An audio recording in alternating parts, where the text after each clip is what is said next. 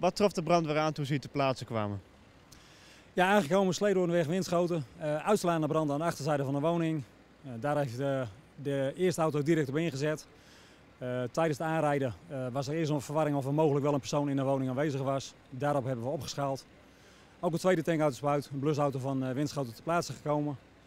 Nou, uiteindelijk de brand gelukkig vrij snel kunnen doven. Een snelle verkenning en al vrij snel 100% zekerheid kunnen geven dat er geen mensen meer in de woning aanwezig waren. Is het pand tijdens de branding ontruimd? Ja, de politie is, is hier te plaatsen vrij snel de mensen ontruimd. Alleen er was wat onduidelijkheid over een aantal bewoners. En daarom hebben wij op voorhand opgeschaald. Is er iets bekend over gewonden? Ja, nee, er zijn geen gewonden. Er zijn een aantal mensen wel gecontroleerd door de ambulance dienst. mogelijk wat rookinhalatie, maar dat viel gelukkig allemaal heel erg mee. Nou, ik kijk, dan moet er een politie aan. Dat ga iets voor ons kunnen betekenen.